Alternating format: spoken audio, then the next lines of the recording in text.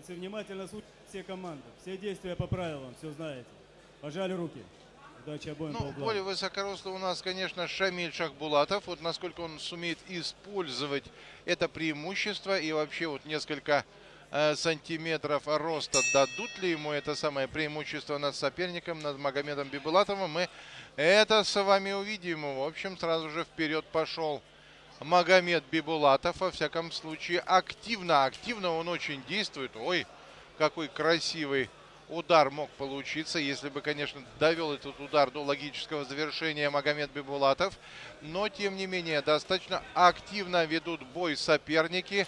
Напомню, самый легкий вес до 61,2 килограммов весовая категория.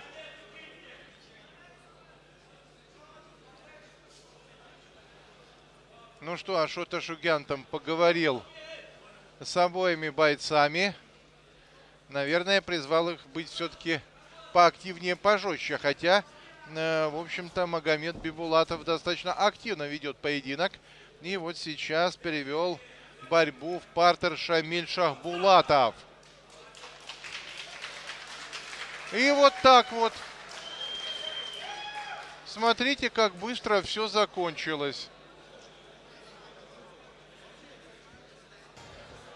В этом бою на 50-й секунде первого раунда болевым приемом победу одержал боец в красном углу Магомед Бибулатов.